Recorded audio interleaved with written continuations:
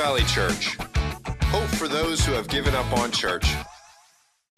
All right, well, welcome back to our app groups. Um, we are starting a new sermon series this week. Uh, you should have heard the series opener of Provision, um, talking about structure and how structure um, or vision in our lives um, propels us into the future. In, in the series, um, Gerry, one of the things Gerry talked about was um, following God's plan brings joy. He talked about how he, he spent some time on this, how when we follow God, when we do what God asks us to do, it brings joy. And that's what I want to spend um, some time into. I want to dig a little further into that in this app group study. And we're going to base this out of Psalm 119, verses 1 to 3. This is a great I love uh, Psalm 119. It talks about the love of God's word and his his um, his commandments and what he has for us. And so, if you get a chance, read Psalm 119. The whole thing is, is great, but we're just going to uh, focus on these first three verses. And it says, Joyful are people of integrity who follow the instructions of the Lord. Joyful are those who obey his laws and search for him with all their hearts. They do not compromise with evil, and they walk only in his paths. Um, I've entitled this, this study, uh, Joy is Following. You know, one of the things in life, you know, uh, in, in our culture, it's all about being number one, it's about being um, the alpha dog and, you know, j- just be, being the guy in charge.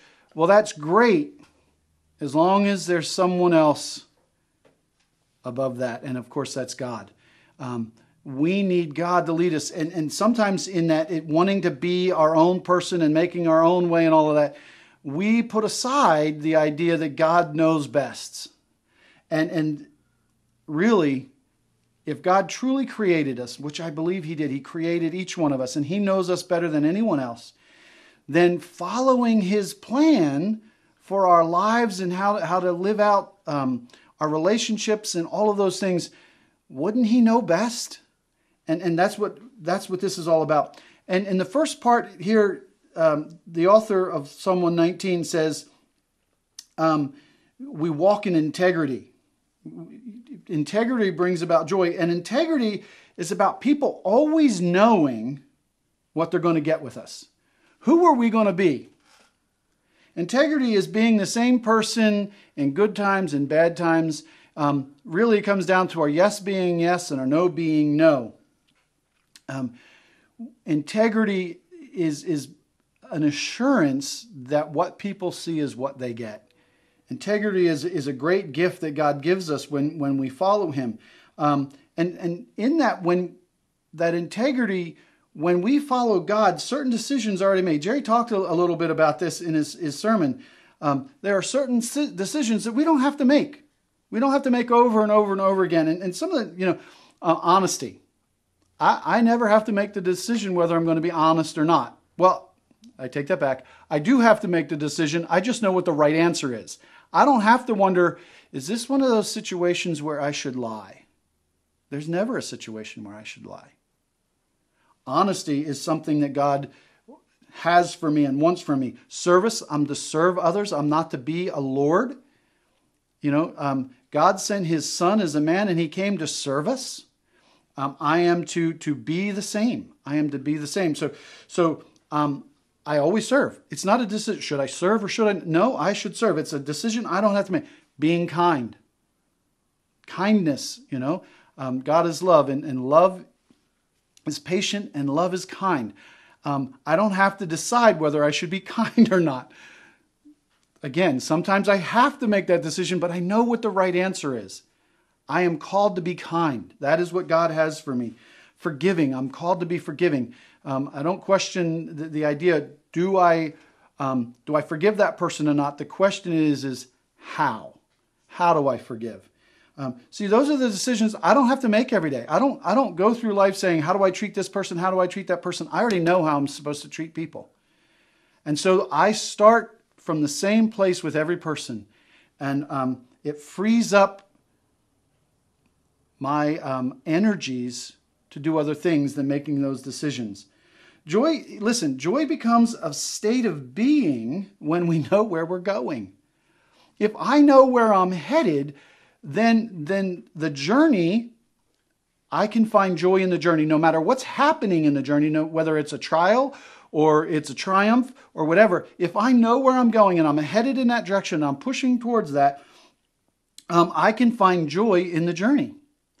The journey is misery when you don't know where you're going. Um, I can remember a time in my life where I had no, I had no vision, I had no idea where I was going, and I was just a miserable person. I was a miserable person because I, I didn't know where I was going. The moment I could define where I wanted to go, all of a sudden the journey was joyful. I could find joy in the journey. Um, when we set our hearts on God, His, His promises take on new meaning. They take on a deeper meaning. So, as I live my life with integrity, as I trust in the promises of God, um, those promises mean more and more to me every step of the way. They become real, they become more real, they become more tangible. Um, and I can live my life because the decisions have been made. I know where I'm headed, I know who I'm going to be, and I can find joy in that integrity. Um, in verse 2, it says, Joyful are those who obey his laws and search for, um, for him with all their hearts. Obedience. Um, obedience is, uh, has become a, a, bad word in our, in, in our culture. Um, you know, only dogs are obedient. No, we are to be obedient to God's word. Um, but listen, when it comes to God's word, the only thing you can be obedient to is what you know. If I don't know something, I can't be obedient into to it. And so that's that's that second part of that verse. We search out God with all our hearts. Um, and as we get to know God, obedience becomes easier. See, obedience comes out of relationship, not the law. If, if you live your life according to the law and you're obedient to the law, it becomes a burden, it becomes a, a chokehold on us. Um, obedience is supposed to come out of relationship. You know, I have I have four kids, and I expect my children to be obedient. I I, I give them um, limitations and I give them um, guidelines to go to, and I expect them to follow them, not because they're afraid of what I might do to them, but because I love them and they love me. It's out of that relationship that my children are to be obedient. Um, you know, when it comes to a husband and wife, we are obedient to each other, not because there's some rule in place, but because we have a relationship. Obedience comes out of relationship, and the more you know God, the easier it is um, to be obedient. The more I know God, the more I get to know God, the easier it is for me to become obedient. And look, and, and it, in that part where he says, search, search for him with all their hearts, with all our, looking for God brings joy. Everyday life. We need to look, look for God in everyday life. You know, many times we, we, we're looking just for the miracle. We're looking for, you know, oh, um, unexpected money came in and I got to pay all my bills, or what, whatever your miracle is, God healed me of an illness or whatever that's great. And I believe me, I live for those things. Those things are great. I love when God does the miraculous. It's it's so much fun to be part of that. But if I'm going to have joy throughout my life, if I want to live a joyful life, I've got to find God in the everyday. I got to find joy when the sun comes up in the morning and, and, and is shining through the windows and gives me its warmth. Um, you know, when my, my youngest son jumps in my lap and just throws his arms around me and says, can we snuggle, Dad? You know, that's God. That's God, you know, He provided me with a family. My family is a blessing from God. And when I can acknowledge that, everyday things, all of a sudden life becomes more joyful.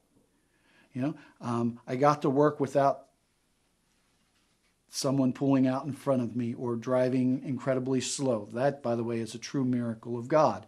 Um, but we, we need to look for, for God in the everyday things of life.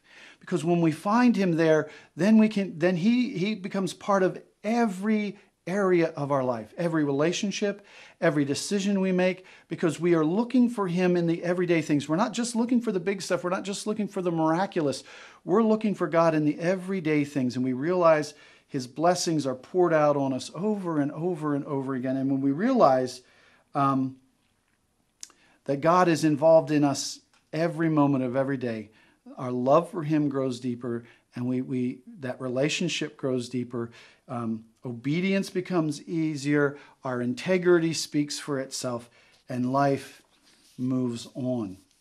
In in um, the third verse, it says, um, "They do not compromise with evil; they walk only in His paths." Okay, our Christian walk is about no compromise.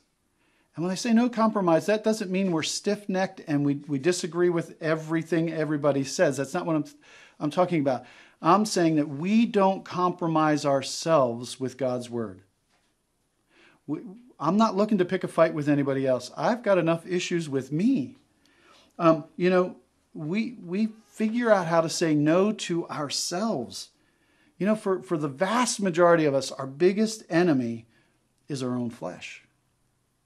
It's a struggle within. It's it's what we want. It's it's not not what the rest of the world wants, but it's what saying no to what we want and saying yes to what God wants. You know, we we are um, not the way God desi- desired us to be. We are not perfect. He created us to be perfect and to live forever. And when sin entered in, we we no longer hold that place, and we all have this sin nature in us and it fights against us. Our flesh is is is part of that, and we have to get control of our own flesh. Um, we, it, once we get control of ourselves, once we uh, give ourselves to God and say, "Okay, God, I will follow Your word," then then our flesh becomes obedient to us, not us obedient to our, our flesh. Evil always starts out with small requests or compromises. Um, little quick thing eyes before action eyes before action when it comes to temptation when it become when it comes to not following god our eyes our flesh wants it before we ever make an action that's why we we talk about so often um, surrounding ourselves with good people godly people um, not viewing tv shows or movies that that um, glorify things that aren't godly. Because once, once it's in there, our brain begins to process it and our flesh begins to desire it. Eyes before action. We need to become people who keep our eyes on Christ, not our flesh, not what the word, world has for us. You know, um, adultery. We'll just use that one. No one wakes up one morning and says, "Hey, I think today's a great day to have, you know go commit adultery." It doesn't work that way. It starts out with you begin to look at other people, and then you begin to look at other people with sexual thoughts attached to them, and then you begin to flirt, and then you have a little bit of conversation here, a little conversation there. You know, eyes before action. All of a sudden, you find yourself in a place where you never thought you would be. Every sin starts there. Every sin starts between your ears and then comes from there. It starts in our minds. Eyes before. um, his path is always discernible if we seek him. Go back to that idea where you can only you can only be obedient to what you know. You, you can only follow a path that, that you have been shown. And, and since God created us and He created the path, we have to seek Him to find the path um, that, that, that He has for us. Things get confusing when we let our human thinking outweigh God's thinking. The moment we think we know what's better for us, we're in trouble. You know, I've had that conversation many times where, where, where people say, well, yeah, well, that's good for you, but for me, I'm going to do this. Okay, you can do that. That's fine. But I'm saying, I'm not trying to uh, imply rules that my rules on you. I'm saying this is what God's word says.